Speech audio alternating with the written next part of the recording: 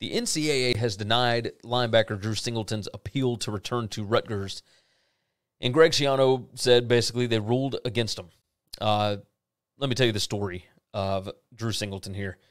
Singleton, once they lost their finale in the regular season, school went five and seven, or the team went five and seven. So they were not supposed to go to a bowl game. He signed with an agent, was going to go to the NFL draft, and everything seemed totally fine. And instead, they ended up getting a call. Their what is it? The ARP, uh, their their ARP scores. Oh, I don't think that's right. You guys correct me in the comments. I, I went blank for a minute. Uh, but their their scores were high enough that they were asked to be in a bowl game when they did not have enough six and six teams. So they accepted it on like a week's notice, right? Eight days, I think, maybe something like that. They agreed to be in the TaxSlayer Gator Bowl, and they decided, okay, yeah, we're going to go do that. So Singleton, after they had not been working out, they get out of their regular season stuff, etc. Uh, they come back in, they start to practice, etc., and they are getting ready to go play in the TaxSlayer Bowl. So he goes and plays, and then he gets injured in this game.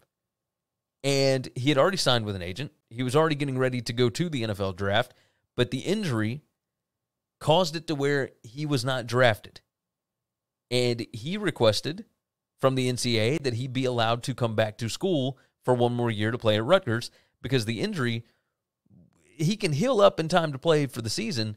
But if you are an NFL team and you're trying to figure out the best value in some of those late round picks, etc., do you take a chance on a player that, you know, is coming off of an injury, or do you just go with somebody else? I, I mean, it makes sense. And yet, in this instance, the NCAA said uh, that no, he cannot come back because he signed with an agent. Um, said this I stated my feelings beforehand. They want guys to play in bowl games. I don't know. Not many teams have accepted a bowl game on eight days' notice, had two practices, and went and played. I don't think so. A draft eligible player comes back to play, and to me, that's pretty special. Unfortunately, he got injured. I just struggle. I think that's extenuating circumstances. I understand the whole amateurism rule, but eight days' notice, that's extenuating circumstances. I'm not sure how you can define it. You get a team ready to go, get a plane during the second biggest outbreak of COVID, and say that's not extenuating circumstances. I don't understand that.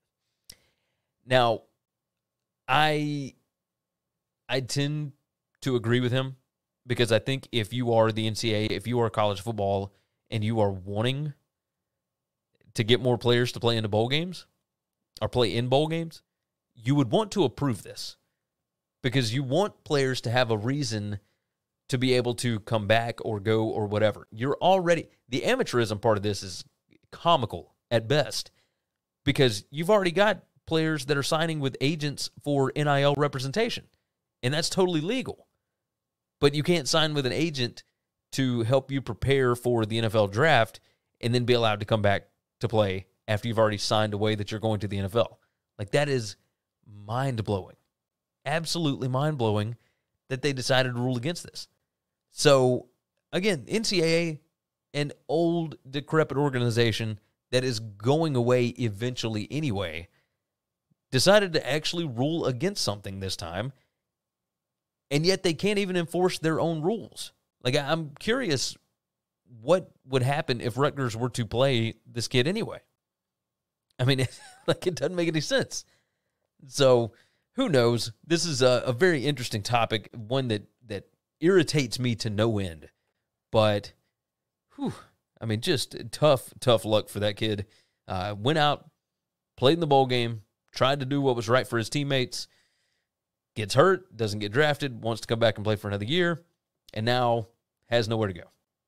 I mean, it just sucks. It just sucks. Thanks for listening to the Winning Cures Everything podcast. The website is winningcureseverything.com, and if you want to connect with us, we're on Twitter at Gary WCE, at Chris B. Giannini, at Winning Cures, or you can email us, Gary at winningcureseverything.com or Chris at winningcureseverything.com. Subscribe everywhere you need to subscribe, and we'll see you soon.